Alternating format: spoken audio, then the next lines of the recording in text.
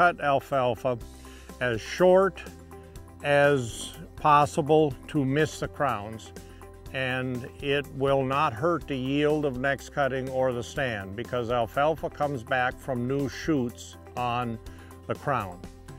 Now, a corollary to that that we have to think about is actually if we're delayed in harvesting and we're cutting full bloom alfalfa, some of that will have new shoots coming up and we need to cut above the level of those regrowth shoots so that we don't reduce the next cutting of alfalfa. But if we're cutting at the bud stage, they're usually not there, so we can cut at any height. But our recommendation is generally to cut at about three inches. Uh, first, what we find is that if we cut a little bit higher, we pick up less dirt, and dirt is not digestible to the cow. In fact, each 1%, we, we measure dirt by burning it and weighing the, we call it ash. Each 1% ash is 1% less TDN, one unit less TDN energy, since it's completely indigestible. So the lower we cut, the more ash we get, and that's not good. Alfalfa ash can be from about 7% on the low end up to about 15% of the dry matter. And if you have situations where you get a lot of soil splashing up, you know, during rain events uh, or irrigation events, or when you have the, the uh, hay that's really close to the ground. It picks up a lot of uh, dust or dust blows over the hay and, and, deposits or you get ash coming from fires nearby or something like that. It can actually lower the quality of the hay. And so it's a key question is try, try to keep the soil away from the forage so it doesn't get baled up uh, as part of the product.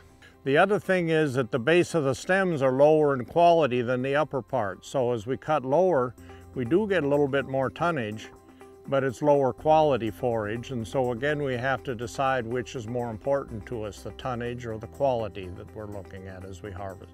Cut lower for tonnage, higher for quality.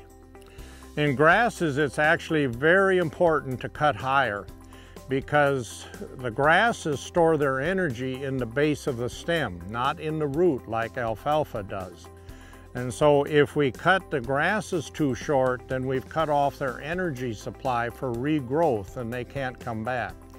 In fact, one of the ways to take grass out of alfalfa stands is to cut very short and then the grass will die out over a year or two.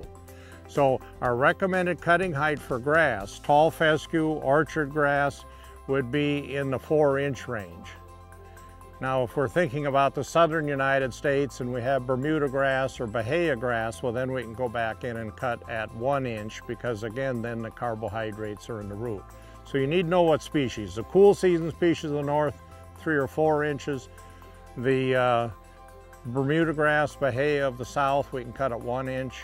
Grasses, we generally want to see a little bit higher cutting height with grasses because it stores uh, the regrowth carbohydrates in the base of the tillers rather than in the, in the crown in the case of alfalfa.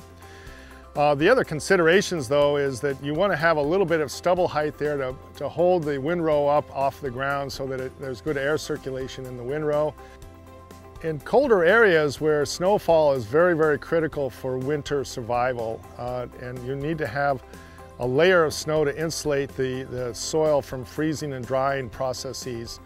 And uh, in areas that are very windy and have maybe lower snowfall events, you need to capture that snow and keep it on the field rather than having it blow away. And so that's where stubble in the fall is really kind of a key uh, component of, of, crop production in those areas. Many parts of the world where alfalfa is produced, uh, winter kill is really one of the biggest hazards. And so um, in many cases, you'd want to protect that crop by leaving a little bit of stubble out there um, so that it catches uh, catches the snow.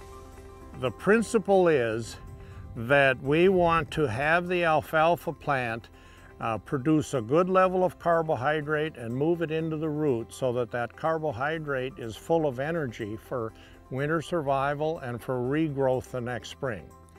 And so in theory what we want to do is take our last cutting um, there's two ways of looking at it. Most of us say about six weeks ahead of a killing frost.